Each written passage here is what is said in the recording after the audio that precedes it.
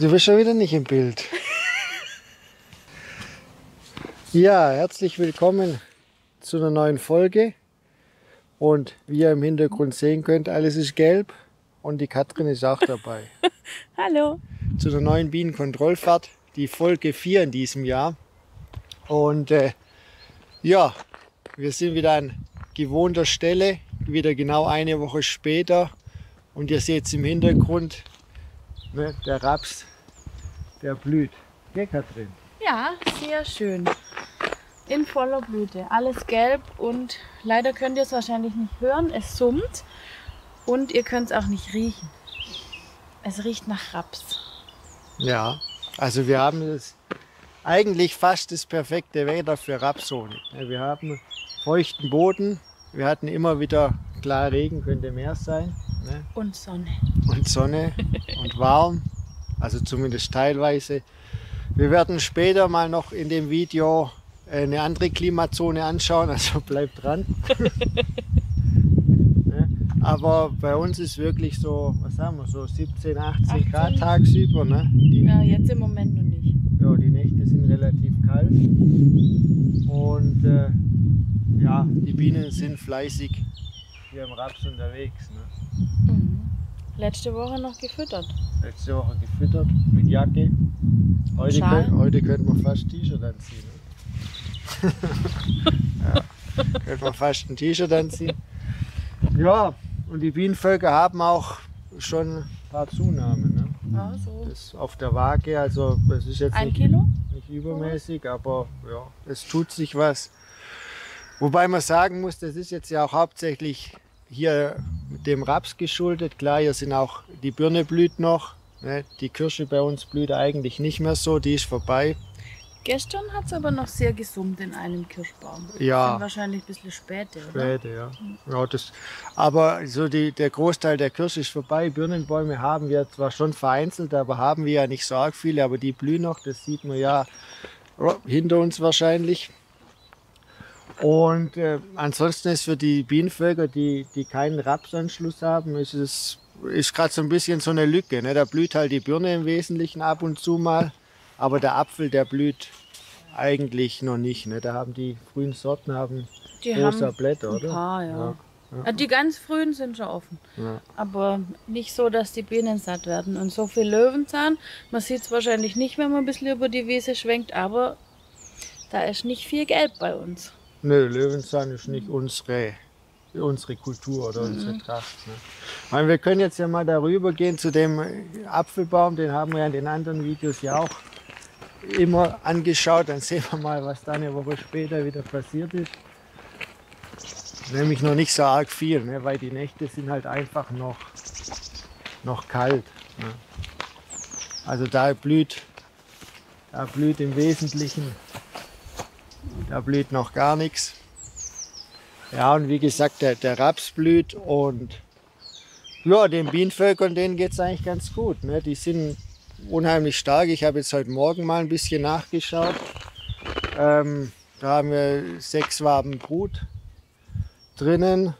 Ja, Futter ist nach wie vor eben nicht, nicht üppig. Aber ja, wir sind auf einem ganz guten Weg. Ne? Da haben wir die Bienenvölker dieses Jahr wieder ganz, ganz passabel hingestellt. Und wenn jetzt das Wetter noch mitspielt, Dann gibt es eine gute Frühjahrs Dann gibt's eine gute- Honigernte. gibt es eine gute Ernte. Ja, Toi, toi, toi. ja ein bisschen Regen noch. Ja, Wenn ja, es so bleibt. Ja. Wenn alles so bleibt, dann Ja. wird es richtig gut.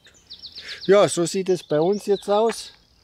Und jetzt würde ich sagen, Gehen wir mach- auf die Alp. So, jetzt praktisch ein Zeitsprung zurück in die Vergangenheit. So sah es bei uns auch vor, sagen wir mal, zwei, drei Wochen aus. Wir sind jetzt auf der Schwäbischen Alb, schauen uns hier ein bisschen um, ähm, was der Raps hier macht. Ne, die Schwäbische Alb oder die Obstbaumblüte. Die Schwäbische Alb ist ja praktisch für uns vor der Haustür so, ähm, ja, einfach ein bisschen später dran nochmal eine Frühtrachtchance, wenn es bei uns verregnet ist, wenn es bei uns zu kalt ist, wenn es bei uns einfach noch zu früh ist. Dann fahren wir ganz gerne hierher. Und ähm, ja, hier blüht eigentlich nichts. Ihr seht es auch, Jacke wieder, kalter Wind. Ähm, das Gras auch hat noch nicht die intensiv grüne Farbe wie bei uns. Obstbäume habe ich noch gar nicht blühen sehen. Und ähm, genau, jetzt gehe ich gerade mal hier vor, weil das ist eigentlich für uns alle, glaube ich, ein ganz guter Vergleich, wenn wir schauen, was, äh, wie der Raps aussieht. Ne? Weil beim Raps, da siehst du halt extreme Unterschiede in ein paar Wochen, in ein paar Tagen. Ja, ähm, genau, also vor uns ist er. Ich zeige es euch mal. Naja, sieht schon eine ganz andere Hausnummer wie bei uns. Eine ganz, ganz andere Hausnummer. Ähm, ihr müsst überlegen, im Moment haben wir hier 9 Grad. Bei uns daheim haben wir sicherlich irgendwo 15, 16 Grad. Bei uns blüht der Raps und hier ne, haben wir vielleicht 10 Zentimeter. Also eine ganz, ganz andere Hausnummer, ein ganz, ganz anderes Zeitfenster und es macht es einfach für uns, ne, ist eine Dreiviertelstunde oder ja, eine Dreiviertelstunde Fahrzeit hierher. Es macht es einfach für uns interessant, hier dann in ein paar Wochen nochmal die Bienen herzubringen, zumindest ein Teil. Noch dazu kommt ja hier auf der Alp oder hier an diesem Standort ist es ja auch ganz interessant oder kann es ganz interessant werden für Waldhonig. Ähm, kann man die Bienen stehen lassen, gibt auch einen schönen Sommerhonig. Ist ja alles ein bisschen später, ist ein bisschen weniger besiedelt bei uns. Hier gibt es auch noch ja, diese Hecken, diese kleinen Waldflächen, viel Fichte, viel Tanne, eigentlich alles, was es bei uns nicht so gibt. Ne? Löwenzahn blüht ja auch noch, große Wiesenflächen.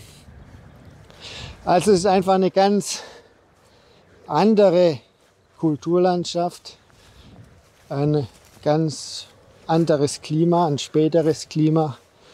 Und wie gesagt, einfach nochmal für die Bienenvölker eine Chance, ähm, Honig aus Streuobstwiesen zu sammeln, Honig aus Raps zu sammeln und dann später auch Linde, Wald, was auch immer, ist schwer zu planen. Er kommt auch wirklich immer auf das Jahr an, aber eigentlich eine schöne Sache. Nochmal richtig die Sonne raus, erinnert uns fast an die warmen Temperaturen, die wir ein Stockwerk tiefer bei uns haben mit 15 Grad mit der Rapsblüte. Ja, was ich euch hier noch zeigen wollte, ja, auch hier, da blüht noch nichts, da sind noch die Knospen da. Ähm, ja, ist ja einfach ein Stockwerk hö höher in der Welt. Und ähm, ja, einen Moment später einfach die Tracht. So, jetzt wieder ein paar Meter weiter. Wir wollen uns ja noch ein paar andere Sachen anschauen. Und zwar sehen wir hier, na, da ist noch nichts am Blühen an Apfel und auch an Birne. Also da sind ja noch nicht mal, ich meine, hier kommen jetzt die ersten Blätter raus. Ne? Zum Teil sind die Knospen noch ganz geschlossen. Hier zum Beispiel bei dem Apfelbaum, ähm, ja, komplett geschlossene Knospen. Das ist schon ein bisschen eine andere Welt wie bei uns hier. Ja. Ähm, mu muss man schon sagen. Ja, hier sehen wir mal schon mal was, was wieder blüht. Das sieht mir aus wie so eine, so eine Zwetschge, so eine wilde. Also die ja, blühen ist, ist übertrieben. Ja. Die, die am Blühbeginn einfach ist.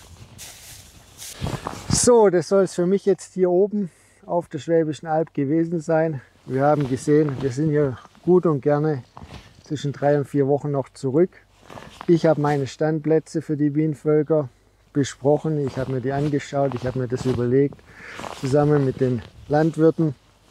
Und jetzt gilt es auch für mich einfach wieder heimzufahren, die Jacke auszuziehen und den Bienen bei uns in der Rapsblüte zuzuschauen. Ja, dann soll es das mit dem Video auch schon wieder gewesen sein.